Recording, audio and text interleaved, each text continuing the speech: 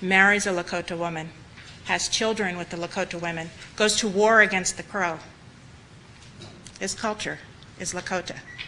His birth line is Crow. One learns culture. One learns culture. We express culture in our views, our attitudes, and behaviors, and we'll see that, this and, and know that with each other.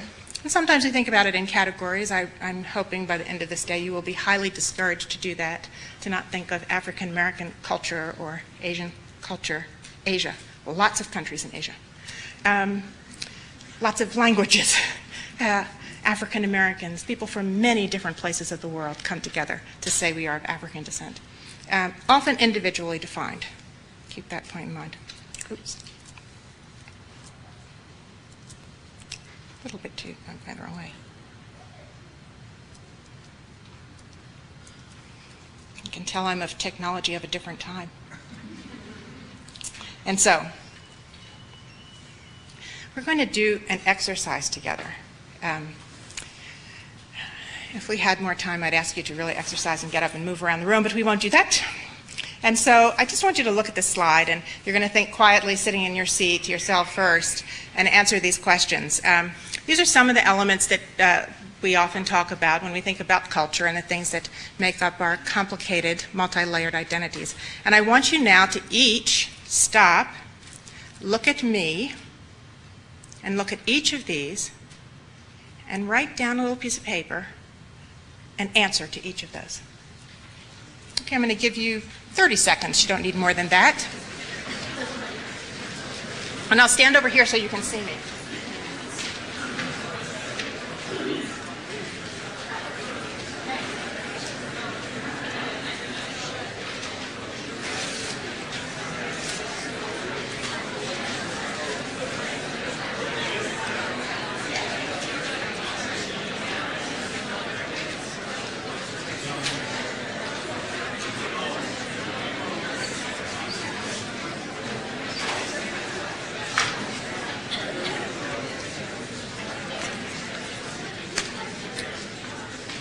Okay, raise your hand when you're finished. Raise your hand when you're finished. Raise your hands when you're finished. You know, finished could mean a lot of things. Finished could mean you've answered every single one, you've been the great student.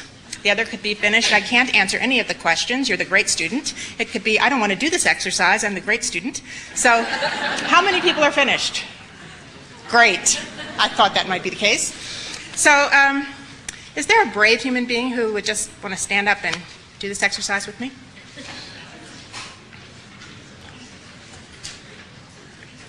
Is there a brave faculty member who would want to stand and do this? All right, so then, in the interest of time, and since I, I, I've never liked it when someone has pulled me out of an audience to do something, absolutely never, I will just give you what I hope you know is the point of this exercise. Um, I'll answer a few of these for you. I'm African American. My eyes are blue, my hair is blonde. I'm African American. My religion. I think you'd have to ask me that, yes? I happen to be Catholic. Um, my sex, my age, my size. I don't think I want to tell you my age, but you'd have to ask me. Primary language, you'd have to ask me. You could assume it was English, but you'd have to ask me. And on and on. And so this is just an example. And we could go, the list is really quite lengthy, of elements that contribute to our makeup and our description of ourselves as cultural being, beings that we really, in our best circumstances, must ask the person we're with to know for sure. Assumption, not a good thing. My father taught me that when I was very young. So here you are going to do this with someone else. We won't talk out loud, or unless there's a brave person. Um, I want you to turn to the person next to you, and I want you to listen and talk with each other just for about two minutes about when you first felt different, what culture had to do with this, and to name the elements of culture that were at play here, such as values, beliefs, learned patterns of behavior. I'm asking you to do this now because when I asked if you had had deep conversations about culture, almost all of you raised your hands. So have this moment, use this time, have that conversation with the person next to you, that stranger next to you. Okay? Let's go.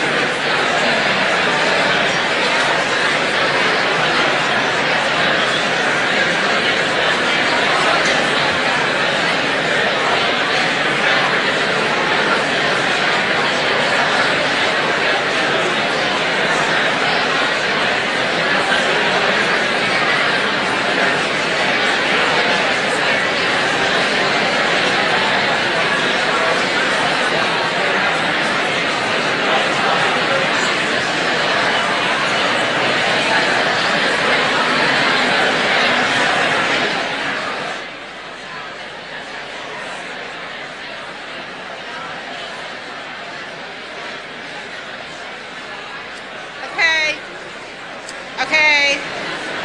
Okay. Good, good. Deep conversation in the room. I can hear it. Time to stop.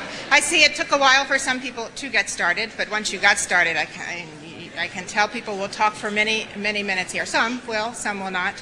So, just to give you an idea of what this means, what the cultural experience is, how it feels like, and that we, it's important for us to, again, be certain we can do for ourselves what we are asking of others as we enter into dialogue with patients about issues of culture.